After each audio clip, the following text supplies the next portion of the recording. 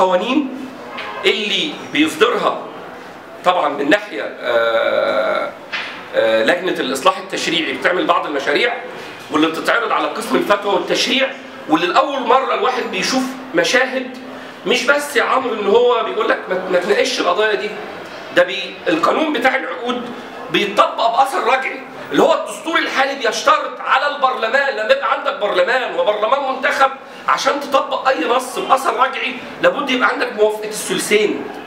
ثم مشروع الاستثمار اللي اتطرح واللي بيدي رئيس الوزراء الحق إنه يدي تخصيص للأراضي زي ما هو عايز حوافز ضريبية زي ما هو عايز وبيستبدل رئيس الوزراء بالبرلمان. وتيجي بقى بعد كده تقول لي والله ده المشروع القانون اللي طرحناه على المستثمرين والمستثمرين وافقوا عليه. ما أقدرش لما يبقى في برلمان موجود ما أقدرش إن أنا أغير في هذا الأمر.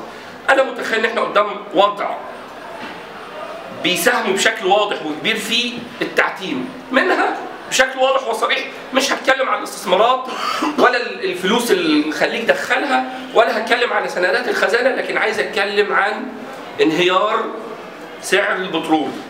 ده كان عامل عبء قد إيه على الموازنة؟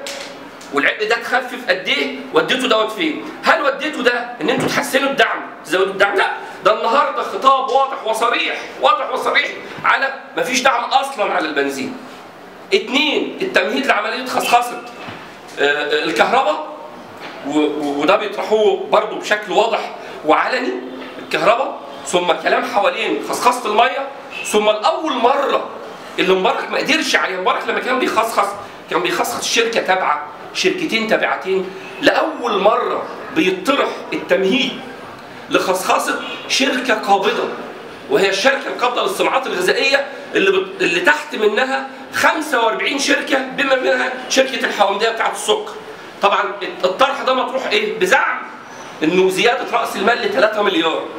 الخطوة اللي بعد منها يقول لك لا إحنا مش بنخصخص ده إحنا هنزود رأس المال. طب اللي دفع 3 مليار ده مش هيقول لك أنا جزء من الإدارة؟ الخطوة اللي بعد منها هتبقى أسهم وأسهم حاكمة. كل ده بيتم على الأرض في ظل الغياب المجتمعي وأنا يعني بناشد الزملاء يعني سواء في حزب ال- ال- العيش والحرية أو لو في أي زملاء حاضرين معانا من أي حزب تاني ضرورة طرح الأجندة الاقتصادية على عدد من الأحزاب سواء الأحزاب اليسارية أو أحزاب اليسار الوسط أو الأحزاب النصريه لطرح رؤيه ما تبقاش رؤية حزب لوحده ولكن لطرح رؤية. الملف الاقتصادي ده بيتدور إزاي؟ إحنا كدولة بنتعامل معاه إزاي؟ الأحزاب بتتعامل معاه إزاي؟ لأنه زي ما بنلوم الدولة إنها مش بتطرح رؤية أنا كمان بلوم الأحزاب إنها متجاهلة هذا الأمر ومهمومة ومشغولة بلعبة الانتخابات اللي كلنا عارفين بتتلعب إزاي في البلد النهارده.